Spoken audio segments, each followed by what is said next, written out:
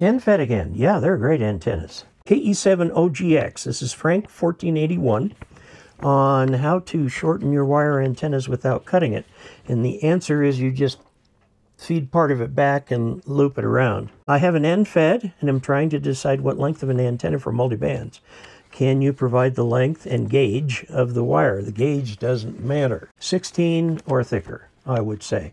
If you're going to do uh, with an amplifier, I'd go 14 gauge or 12 gauge. And I would make it out of stranded insulated wire. Now the insulation will affect the length of the wire because the propagation velocity through insulated wire is slightly less than for uninsulated wire. I like the stranded wire because it's just so much easier to use. Now it depends. If you're going to do this for 40 meters on up, it would be about 66 feet. You'll probably end up wrapping some of that back on it to about 63 feet. If you're doing 80 meters, you want to take that all the way up to about 120 to 132 feet.